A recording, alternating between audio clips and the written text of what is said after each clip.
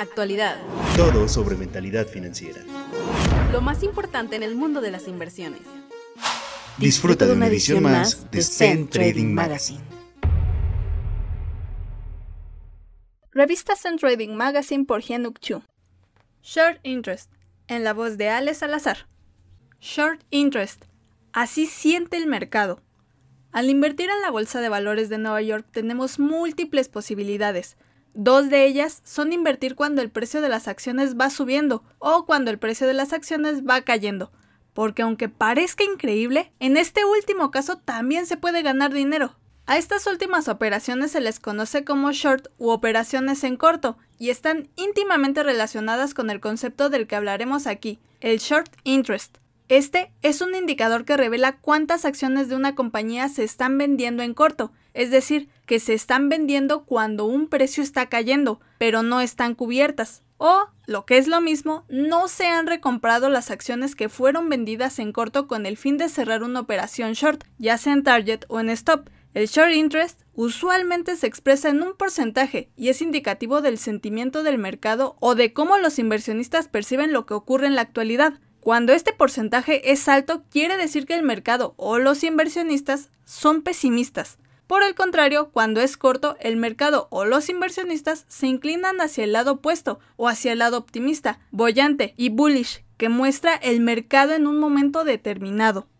La dirección de la tendencia.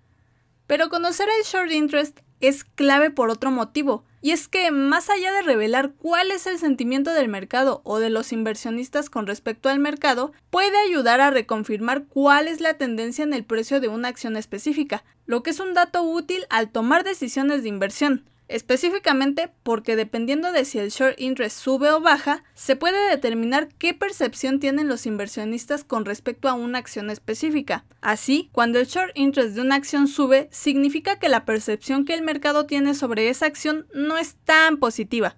En cambio, cuando el short interest baja, revela que la percepción que tiene el mercado sobre cierta acción ha mejorado, y esto a la larga, lo que significa es que hay más inversionistas interesados en que el precio de las acciones aumente, por ejemplo, lo que a la vez puede elevar su valoración. En ese sentido, lo positivo de analizar el short interest es que puede aplicarse tanto al mercado general como a una acción en particular, dependiendo de las necesidades de información que tenga el inversionista para poder tomar las decisiones más fundamentadas sobre qué hacer con su dinero. Short interest y short squeezy. El short interest asimismo tiene una relación directa con los short squeezy, que se presentan cuando el precio de una acción sube de forma inesperada, lo que obliga a quienes están haciendo shorts a salir de sus posiciones con el objetivo de evitar y reducir sus pérdidas. La relación entre los dos conceptos se halla en que, entre menor es el short interest de una acción, mayores son las posibilidades de que esa acción registre un short squeezy. No obstante, es necesario tener en cuenta que esto puede variar entre acciones, por lo que no puede considerarse como una regla definitiva. De hecho, las estadísticas de Investopedia demuestran que mientras una empresa sólida con una larga historia de ganancias estables puede tener un short interest del 10%, una empresa cuyas acciones tengan un carácter muy especulativo puede llegar a tener un short interest del 30%.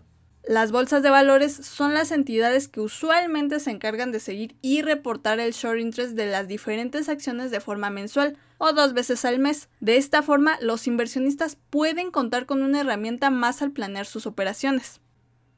Una fórmula completa. A pesar de las ventajas que puede brindar conocer esta información, no se puede desconocer que realizar una operación en la Bolsa de Valores de Nueva York con base en un solo indicador puede resultar riesgoso al conducir al inversionista a tomar decisiones desacertadas. Por eso, el short interest no debe tomarse como la única herramienta de análisis al invertir. Por el contrario, es clave tener en cuenta otros indicadores que revelan el estado actual del mercado, como el volumen, o recurrir a herramientas como las medias móviles para tener más claro cuándo entrar o salir de una operación. Solo cuando una estrategia se planea con la suficiente anticipación y se cuenta con los suficientes recursos de análisis técnico, se pueden tener resultados positivos, dependiendo de las expectativas que cada uno tenga, sin que estos sean solamente fruto de la casualidad o del azar. Una de las mejores formas de saber cuál es el short interest de las acciones es consultar esta página web, en la que también puedes acceder a información relacionada con la Bolsa de Valores de Nueva York, sin necesidad de ningún pago o suscripción.